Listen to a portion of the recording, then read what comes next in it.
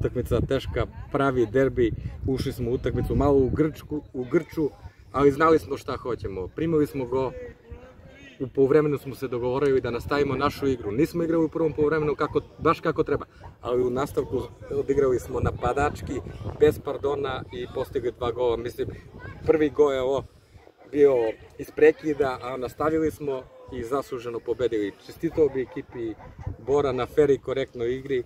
Sudije malo su utakmicu u jednom trenutku ispustile, ali svaka čast mojim momcima, svaka čast i navijačima koji su došli da nas podrže i, i bez njih i bez ljudi iz kluba ne bi bilo ovo uspeh za nas. Lazar Filipović isto nije mogao da nastupa i on je u prvoj postavi. E, Stefan Ćirić isto rovit igrao, spegao je zube, odigrao majstravan meč. E, Caka Mančić isto vuče povredu, danas nije mogao da dođe na utakmicu.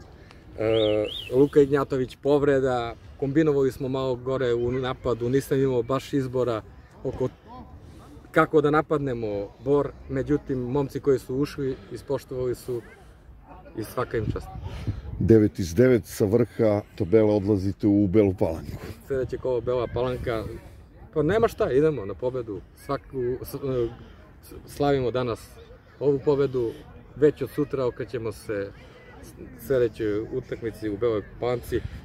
Odlična ekipa, jutro sam ih gledao, Biće teško, ali nadamo se pobedi tri boda i desetoj pobedi.